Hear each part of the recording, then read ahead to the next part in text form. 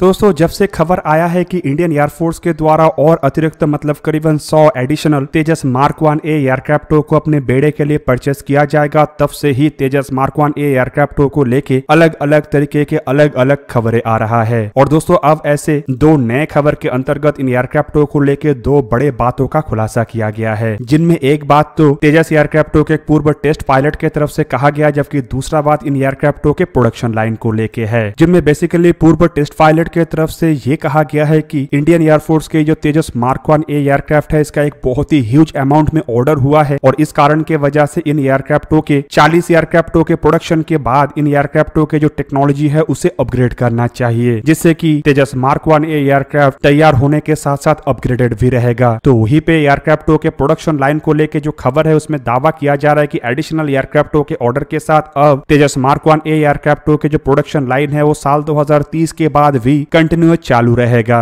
Indian air force के retire air commodore Kamiranda Muthanna Poonappa जो की नेशनल फ़्लाइट टेस्ट सेंटर के हेड भी रह चुके हैं, उनके द्वारा हाल ही में अपने एक बयान में ये कहा गया कि जिस तरीके से इंडियन एयरफोर्स को टेक्निकल एवोल्यूशन का ज़रूरत है और जिस तरीके से दिन ब दिन टेक्नोलॉजी में परिवर्तन आ रहा है, उसे देखते हुए एडिशनल तेजस मार्क वन एयरक्राफ्टों को भी लगातार अपग्रेड रखना पड़ेगा। उनके तरफ़ से असल में इस डिस्कशन में एडिशनल सौ तेजस मार्क वन एयरक्राफ्टों के खरीदारी को भी शामिल किया गया और उनका ये कहना था कि इतने बड़े संख्या के एयरक्राफ्टों को इंट्रोड्यूस करने के दरमियान फ़ेज़ बाई फ़ेज़ इसके प्रोडक्शन में ही एयरक्राफ्टों को अपग्रेड मतलब टेक्नोलॉजिकली अपग्रेड करते रहना चाहिए। असल में रिटायर्ड एयर कॉमोडोर पुनप्पा की तरफ़ से जिन बातों को कहा गया, वो काफ़ी सिंपल बात है, लेकिन काफ़ी इम्पैक्टफुल है। उन्होंने अपने एक्सपीरियंस को इस्तेमाल करते हुए एक बहुत बड़ा सजेशन दिए है और उनका कहना है कि इंडियन एयरफोर्स को इन सभी एयरक्राफ्टों को एक ही तर्ज पे प्रोड्यूस करके अपने बेड़े में शामिल नहीं करना चाहिए, जिससे कि आखिरी के जो एयरक्राफ्ट होगा, वो भी पहले के एयरक्राफ्टों के ही जैसा होगा, बल्कि इसके बदले में इंडियन एयरफोर्स को एक फ़ेज़ मैनर में एयरक्राफ्टों के सॉफ्टवेयर और हार्डवेयर में अपग्रेड करते हुए इन एयरक्राफ्टों को अपने बेड़े में शामिल करना चाहिए, जिससे कि समय के आगे बढ़ने के साथ साथ ये जो एयरक्राफ्ट है, ये भी अपग्रेडेड होते हुए इंडियन एयरफोर्स में शामिल होगा और आखिरी के जो एयरक्राफ्ट होगा, वो पहले के एयरक्राफ्टों के मुकाबले में बेहतरीन होगा, जिससे कि सभी एयरक्राफ्टों को एक साथ फिर से अपग्रेड करने का ज़रूरत नहीं पड़ेगा। एयर कॉमोडोर पुनप्पा की तरफ़ से अपने बयान में इससे और सिंप्लीफाई करते हुए ये बताया गया है कि कम से कम 40 एयरक्राफ्टों के प्रोडक्शन के बाद टेक्नोलॉजिकल अपग्रेडेशन करना चाहिए, जिससे कि इंडियन एयरफोर्स हमेशा ही टेक्नोलॉजिकली सुपीरियर रहेगा। अब दोस्तों, ये बात तो सही है कि एक जो एयरक्राफ्टों का ऑर्डर है, इन और एयरक्राफ्टों के ऑर्डर को पूरा करने के लिए करीब करीब एक दशक के समय लग सकता है। और दोस्तों, ऐसे में अगर साल 2033 में इंडियन एयरफोर्स को अपना आखिरी तेजस मार्क वन एयरक्राफ्ट मिलता है और इन एयरक्राफ्टों में कोई भी अपग्रेडेशन नहीं होता है तो साल 2033 में उसी टेक्नोलॉजी का एयरक्राफ्ट मिलेगा। जो साल 2023-24 में इंडियन एयरफोर्स में इंट्रोड्यूस होगा। अब दोस्तों, साल 2033 में अगर इंडियन एयरफोर्स के बेड़े में साल 2023 के टेक्नोलॉजी वाले एयरक्राफ्टों को शामिल किया जाता है तो ये एयरक्राफ्टों के जो एयरफ्रेम है, वो तो नया होगा, लेकिन इसका सभी टेक्नोलॉजी करीब करीब एक दशक पुराना होगा। ऐसे में दोस्तों, तब तुरंत ही इन नए एयरफ्रेम वाले एयरक्राफ्टों को भी अलग से अपग्रेड करना पड़ेगा, जिससे कि फिर से इन एयरक्राफ्टों को असेंबली लाइन में लाना पड़ सकता है। पर अगर हर 40 एयरक्राफ्टों के बाद एयरक्राफ्टों को अपग्रेड किया जाता है मतलब हर दो साल के बाद एयरक्राफ्टों में अपग्रेशन के तहत नए हार्डवेयर और नए सॉफ्टवेयर को जोड़ा जाता है, जो कि कंटिन्यूसली हिंदुस्तान एरोनोटिक्स लिमिटेड और एरोनोटिकल डेवलपमेंट एजेंसी के द्वारा इवॉल्व किया जा रहा है। तो एक तरीके से साल 2033 में इंडियन एयरफोर्स को जो तेजस मार्क वन एयरक्राफ्ट मिलेगा, वो तब के जनरेशन के हार्डवेयर और सॉफ्टवेयर से लैस होगा। और इससे तुरंत ही इन एयरक्राफ्टों को फिर अपग्रेशन के लिए नहीं भेजना पड़ेगा, बल्कि तब इंडियन एयरफोर्स अपने पुराने तेजस मार्क वन एयरक्राफ्टों के अपग्रेशन के तरफ़ फोकस कर सकेगा।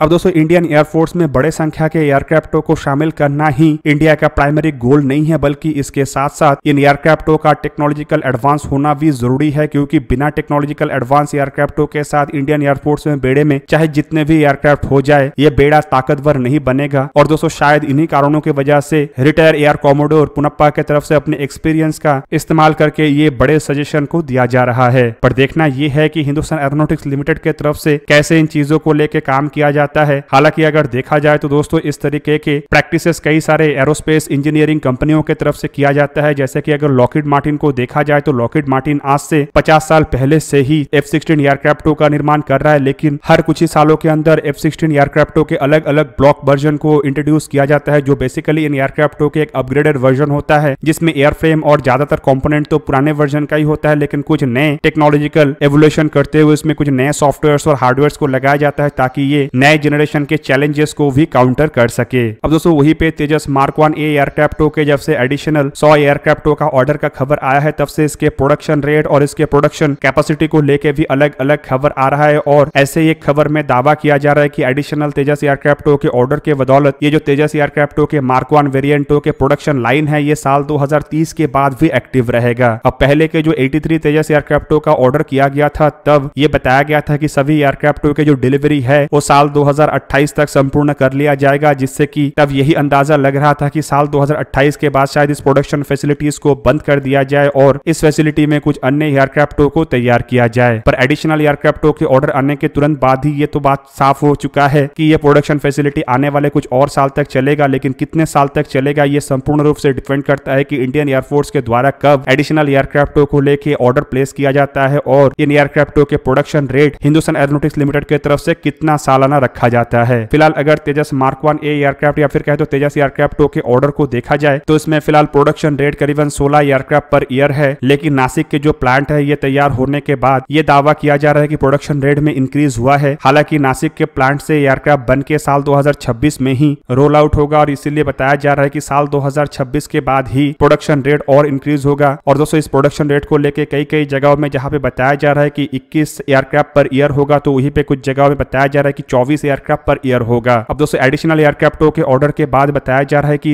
प्रोडक्शन रेट को बढ़ा के 30 एयरक्राफ्ट पर ईयर के दर पे इन एयरक्राफ्टों को प्रोड्यूस किया जाना है और दोस्तों साल 2028 में अगर तेजस मार्क वन ए एयरक्राफ्टों के पहले बैच का सभी एयरक्राफ्टों का ऑर्डर हो जाता है और तब तक अगर प्रोडक्शन रेट सालाना तीस एयरक्राफ्ट तक पहुँचाया जाता है तो एक तरीके से आप कह सकते हैं कि इसके बाद भी कम से कम साढ़े तीन साल इन एयरक्राफ्टों के प्रोडक्शन बरकरार रहेगा। और साढ़े तीन साल का मतलब ये है कि कम से कम साल दो हज़ार इकतीस बत्तीस तक ये तेजस मार्क वन ए एयरक्राफ्टों के प्रोडक्शन लाइन भारत में बरकरार रहेगा। पर दोस्तों, इस दरमियान अगर भारत को तेजस मार्क वन ए एयरक्राफ्टों को लेके कुछ एक्सपोर्ट ऑर्डर मिलता है तो ऑब्वियसली इन ऑर्डरों के जरूरतों को भी पूरा करना पड़ेगा और तब ये जो प्रोडक्शन कैपेसिटी है, इसमें से एक हिस्सा एक्सपोर्ट ऑर्डर को पूरा करने के लिए इस्तेमाल होगा तो वही पे बाकी के हिस्से भारत के जरूरतों को पूरा करेगा। और दोस्तों, इसका मतलब ये है की शायद एक दो साल और अधिक इन एयरक्राफ्टों के प्रोडक्शन इंडिया में बरकरार रखा जाए। पर दोस्तों, ये सभी चीज़ डिपेंड करता है की भारत को एक्सपोर्ट ऑर्डर में कितने एयरक्राफ्टों का ऑर्डर मिलता है। हालाँकि दोस्तों, अंदाज़ा तो यही लग रहा है की शायद 20 से लेके 50 एयरक्राफ्टों तक ऑर्डर भारत को मिल सकता है। और अगर इतने भी एयरक्राफ्टों का ऑर्डर मिल जाता है तो इन ऑर्डरों को पूरा करने के लिए भारत को करीब करीब दो साल के समय लग सकता है मतलब साल दो हज़ार